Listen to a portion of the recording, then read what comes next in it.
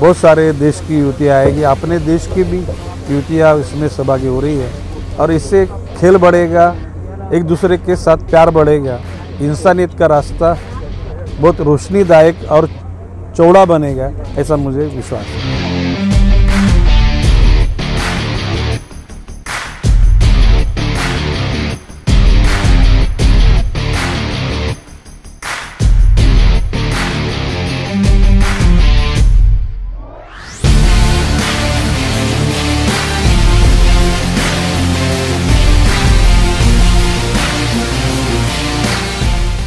विधायक गणेश नाइक के नेतृत्व में प्रतिवर्ष की तरह इस वर्ष भी अंतर्राष्ट्रीय महिला टेनिस टूर्नामेंट यूएस डॉलर 25,000 का आयोजन वाशी के नवी मुंबई स्पोर्ट्स एसोसिएशन के प्रांगण में किया गया था। इस आईटीएफ अंतर्राष्ट्रीय महिला टेनिस टूर्नामेंट में 14 देश से आए तकरीबन 75 महिला खिलाड़ियों ने हिस्सा लिया था जिसमें भारत के तिरपन महिला खिलाड़ियों का समावेश था। 26 दिसंबर से आयोजित इस टूर्नामेंट का समापन 2 जनवरी को हुआ। इस चैंपियनशिप का आखिरी मुकाबला रशिया की खिलाड़ी एक्टरीना रेनगोल्ड एवं लाटविया की खिलाड़ी डायना मार्किन केविका के बीच संपन्न हुआ, जिसमें रशिया की खिलाड़ी एक्टरीना रेनगोल्ड ने बाजी मारी। बता दें कि इस स्पर्धा को देखने के लिए जर्मनी के council general doctor Jurgen Morhard, Petra Morhard Israel के council general Kobbi Shoshani Yael Shoshani NMSA के उपाध्यक्ष डॉक्टर दिलीप राणे आदि मौजूद थे।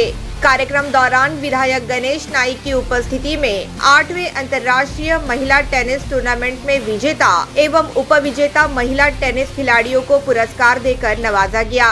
इस दौरान विजेता एवं उपविजेता ने विधायक गणेश नाइक के नेतृत्व में आयोजित इस टेनिस स्पर्धा की सराहना की। I want to thank everyone, of course. Thank you for this tournament, for organization, like um, all chair umpires, all line empires. Uh, I want to thank my coach, my opponent. Uh, you made two fantastic weeks, and for me, like it's crazy that I'm here on this new year, and I played really two good two weeks, and I'm so happy that I could win here because it was so unexpected for me, and it was really good and tough year for me and uh, I'm waiting for next one. Thank you. So I want to thanks again uh, all people who organized this tournament. Uh, you guys did a great job, and uh, I want to congrats the winner. Yeah, very good week, like actually two weeks for you.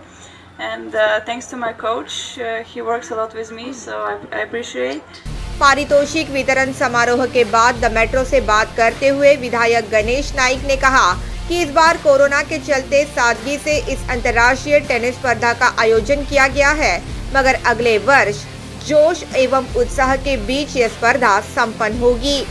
उन्होंने ये भी कहा कि देश भर में अगर खेल बढ़ेगा, प्यार बढ़ेगा तो इंसानियत का रास्ता रोशनी से भरा होगा। वुमेंस आईटीएफ का ये आठवां साल है। पैंडेमिक के सिचुएशन में भी कोविड 19 का ये पैंडेमिक शुरू है। फिर भी मन से और जिस से यहाँ पे इस टूर्नामेंट का आयोजित किया गया। करीबन 75 लड़कियों ने, युवतियों ने इसमें सहभाग लिया। और ये सिचुएशन होते हुए भी यहाँ की कमेटी यहाँ का स्टाफ और आईटीएफ अरेंज करने वाले भारत स्तर के जो भी अधिकारी लोग हैं, इन्होंने काफ़ी मेहनत करके इस चीज़ को यशस्वी अंजाम दिया है।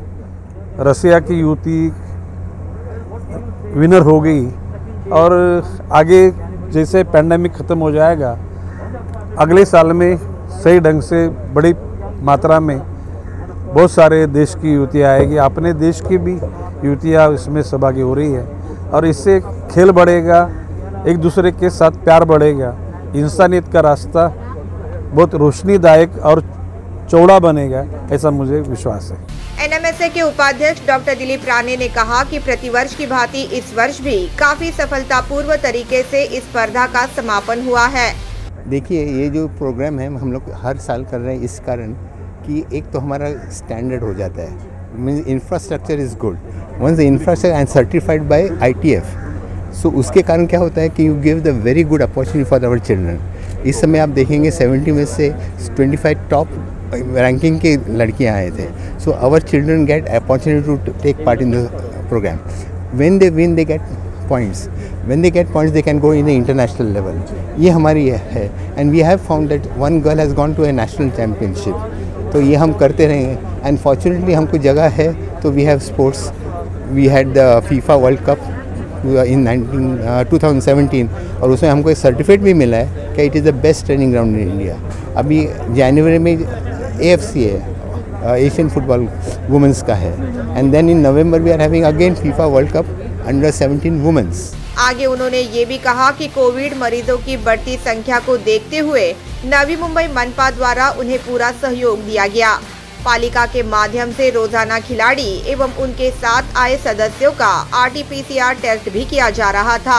यहाँ हमको कॉरपोरेशन मिला म्यूनसिपल कॉरपोरेशन हम ये प्राइवेट भी कर लेकिन municipal corporation is a body which has hold and commissioner साहब, बांगर साहब जो थे, उन्होंने इतना कोऑपरेट किया कि विद इन थ्री डेज़ हमको सब सुविधा दी।